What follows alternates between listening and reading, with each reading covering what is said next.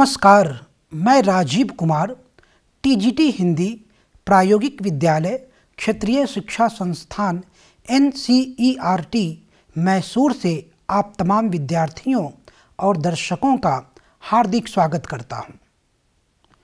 प्यारे विद्यार्थियों, आज मैं कक्षा आठवीं की हिंदी पाठ्य पुस्तक दुर्वा भाग तीन में संकलित एक कविता को लेकर उपस्थित हुआ हूँ। पाठ आरंभ करने से पूर्व आपको कुछ प्रश्नों के उत्तर देने हैं। तो पहला प्रश्न है, जीने के लिए न्यूनतम आवश्यक चीज़ें क्या क्या हैं? विकल्प है अ सिर्फ़ हवा, ब केवल खाना, स, सिर्फ़ मकान, और द, रोटी, कपड़ा एवं मकान। बिल्कुल सही उत्तर है रोटी, कपड़ा एवं मकान। दूसरा प्रश्न है, मनुष्य ज़्यादातर मकान कहाँ बनाते हैं? विकल्प हैं अ ज़मीन पर, ब, आसमान पर, स, पहाड़ों पर, अथवा द, पेड़ों पर। बिल्कुल सही उत्तर है ज़मीन पर। तो प्यारे विद्यार्थियों, आज हम जिस पाठ का काव्य पाठ करने जा रहे हैं, उसका शीर्षक है फर्श पर, जिसकी रचयिता है निर्मला गर्ग। कवित्री परिचय। कवित्री निर्मला गर्ग का जन्म 31 मई 1955 को दरभंगा, बिहार में हुआ। लेखन के अतिरिक्त जन नाट्य मंच से जुड़ी हुई हैं। अब तक इनकी कुल चार कविता संग्रह प्रकाशित हो चुकी हैं, जिनके नाम है या हरा गलीचा, कबाड़ी का तराजू, सफ़र के लिए रसद, दिसंबर का महीना मुझे आखिरी नहीं लगता। दूसरी कविता संग्रह कबाड़ी का तराजू के लिए इन्हें हिंदी अकादमी दिल्ली का कीर्ति सम्मान से सम्मानित किया जा चुका है। आज के कार्यक्रम के अंत में विद्यार्थी कविता वाचन की आदर्श शैली से अवगत हो सकेंगे।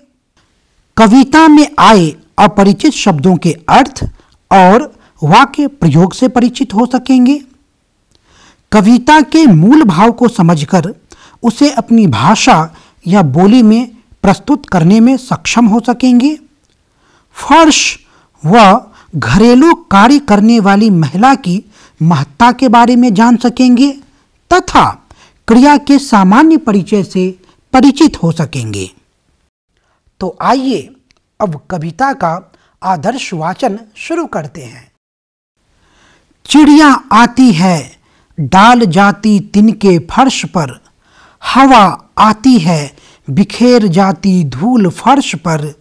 सूरज आता है, सजा जाता चिंदियाँ फर्श पर, मुन्ना आता है, उलट देता कटोरी फर्श पर, मम्मी आती है, बिनती दाल चावल फर्श पर, पापा आते हैं, उतार देते जूते फर्श पर, महरी आती है, समेट लेती सब कुछ अपने बिवाई पड़े हाथों में, और इस तरह लिखती है हर रोज एक कविता फर्श पर निर्मला गर्ग।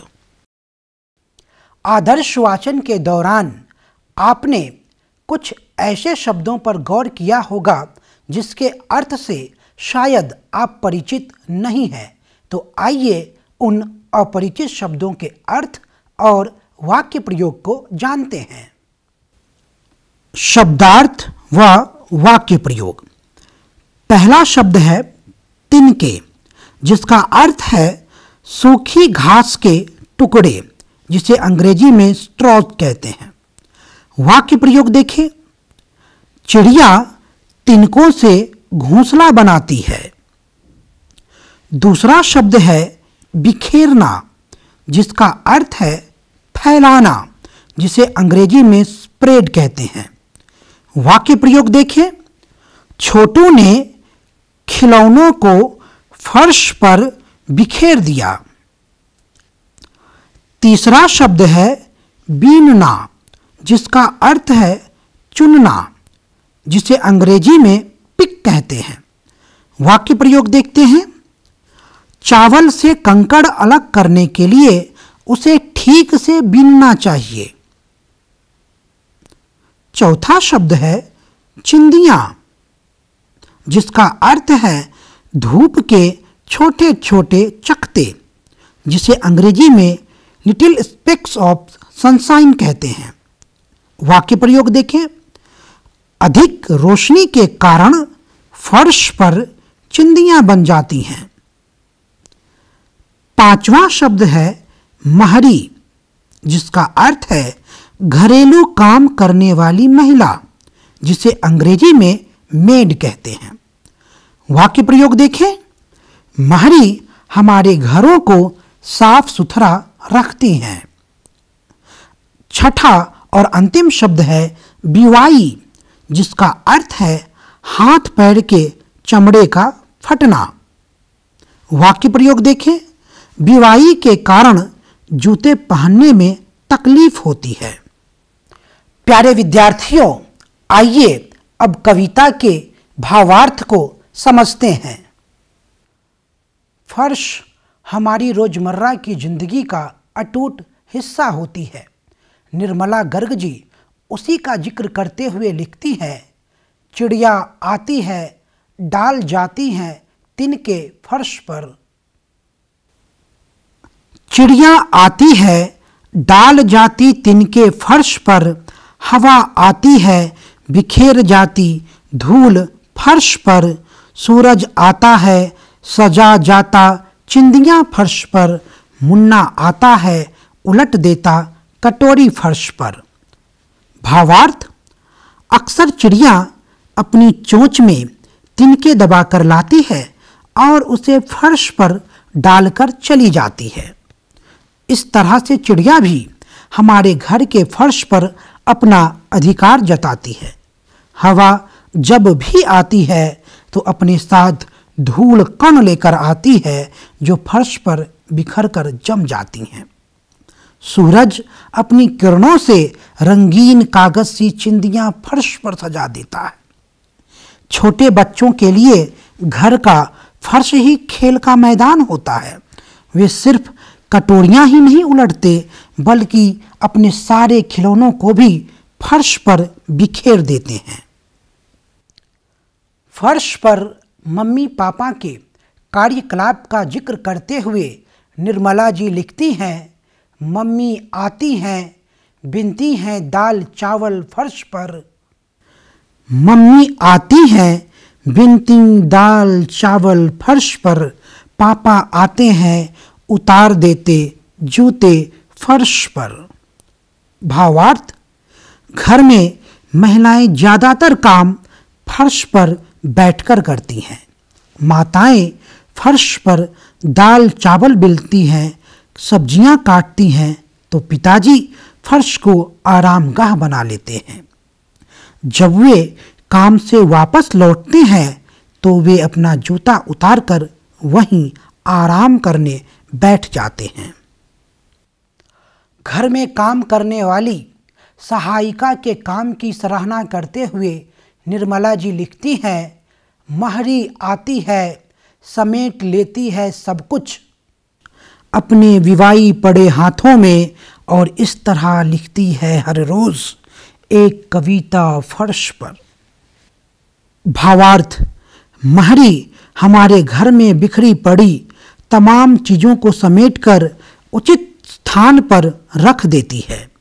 उनकी भागीदारी घरेलू कार्यों तक ही सीमित नहीं रह जाती, बल्कि वह हमारे सुख दुख की साथी भी होती हैं। काम करते करते उसके हाथों में छाले पड़ जाते हैं। फिर भी उन हाथों से वह फर्श पर फैली हुई सारी गंदगी साफ़ कर देती है। इस तरह से हर रोज वह फर्श पर एक नई कविता लिख जाती है। फर्श फिर से निर्मल हो जाती है। कविता की प्रासंगिकता की बात करें तो यह कविता फर्श की उपयोगिता के साथ साथ घरेलू काम काज करने वाली महिलाओं के महत्व का बखान करती है।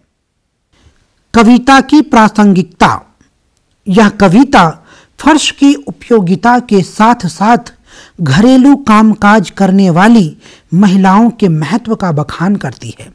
कविता आज के समय में बढ़ रहे अहंकार भाव के विरुद्ध मानवता और कृतज्ञता का संदेश देती है।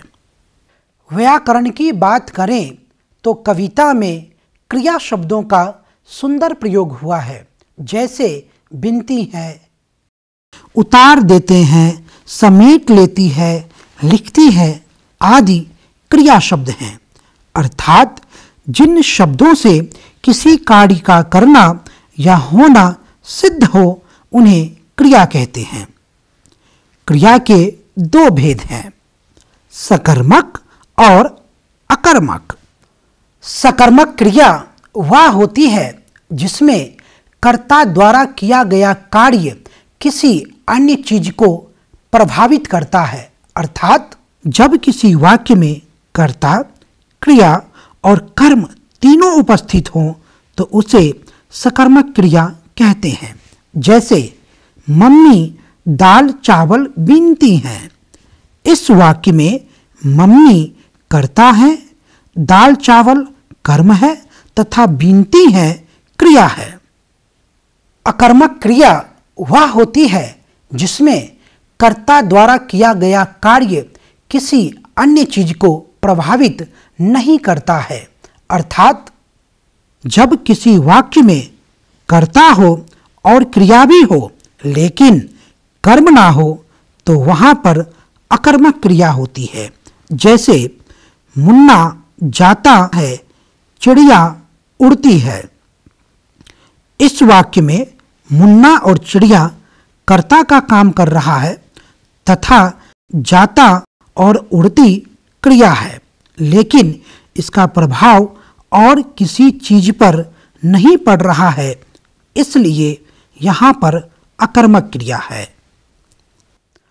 हम उम्मीद करते हैं कि आप कविता के भाव को अच्छी तरह से समझ गए होंगे। हमने आपके लिए कुछ प्रश्न तैयार किए हैं, जिसका उत्तर ढूंढकर आप अपनी उत्तर पुस्तिका में लिखिए। तो पहला प्रश्न है आपके घर में काम कौन करते हैं? उनकी विशेषताओं का उल्लेख कीजिए। दूसरा प्रश्न है, मुन्ना की जगह आप होते तो क्या करते? तीसरा प्रश्न है, आपके विद्यालय की साफ़ सफ़ाई कौन करते हैं? उनसे बातचीत कीजिए तथा उनके अनुभव को अपनी नोटबुक में लिखिए। चौथा और अंतिम प्रश्न है, इस कविता को गीत के रूप में, कक्षा में प्रस्तुत कीजिए। आज के कार्यक्रम में बस इतना ही, फिर मिलेंगे नए पाठ के साथ, तब तक के लिए विदा, धन्यवाद।